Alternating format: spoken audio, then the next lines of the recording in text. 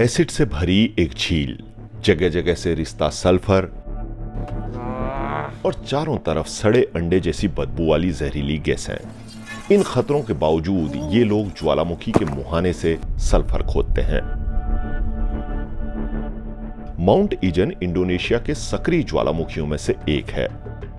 ज्वालामुखी के मुहाने पर दिखने वाली खूबसूरत हरे रंग की झील असल में सल्फ्यूरिक एसिड से भरी हुई है।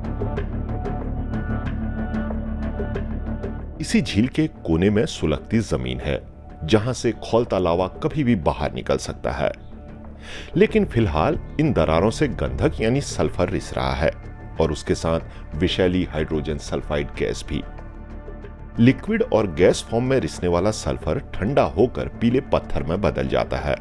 इसी को डेविल्स गोल्ड भी कहा जाता है, जिसे खोदने हर दिन यहाँ 200 से ज़्यादा लोग पहुँचते हैं। जहरीले धुएँ से बचने के लिए वो गीला कपड़ा इस्तेमाल करते हैं। दरारों से 600 डिग्री सेल्सियस से भी ज़्यादा तापमान वाली सल्फ्यूरिक गैसों के रिसने के कारण यहाँ नीले रंग की आग भी दिखाई पड़ती है। पूर्वी जावा में मौजूद माउंट ईजन के आसपास रहने वाले सैकड़ों परिवार 1968 से इसी सल्फ़र पर निर्भर हैं।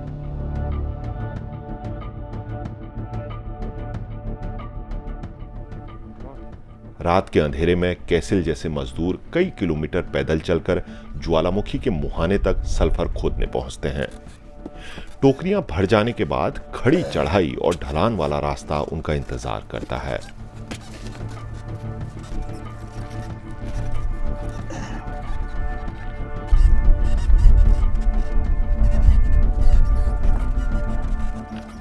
रात में खदान से चले कैसिल सुबह होने के बाद ही सल्फ़र खरीदने वाले के पास तक पहुँच पाते हैं इस खेप में वो 80 किलो सल्फ़र लाए हैं 75 kilo.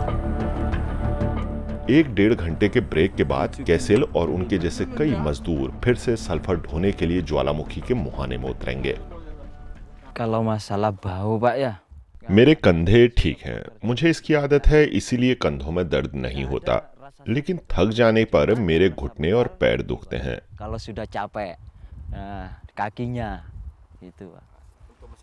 Nggak, अभी तक सांस लेने में मुश्किल तो महसूस नहीं हुई। लेकिन 35 की उम्र पार कर चुके मजदूरों के लिए हालात अलग हैं। कुछ के कंधे बार बार निकलते हैं। एक दिन में दो चक्कर लगाने के बाद सात से आठ डॉलर की कमाई होती है। खेती के मुकाबले ये कमाई कहीं ज़्यादा है, लेकिन इसमें खतरा भी बहुत है। सल्फ़र की ये खुदाई अब तक कई लोगों की जान ले चुकी है।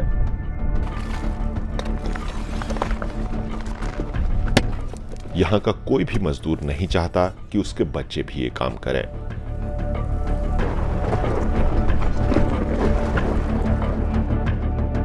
Ya sebetulnya takut, tapi हाँ मुझे इस काम में डर लगता है लेकिन और कोई चारा भी नहीं है।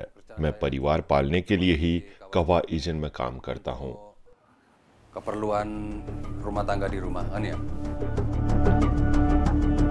Sulphur के बिना धरती पर जीवन संभव नहीं है लेकिन माउंट ईजन में खुद सल्फ़र की माइनिंग का भविष्य बहुत लंबा नहीं है।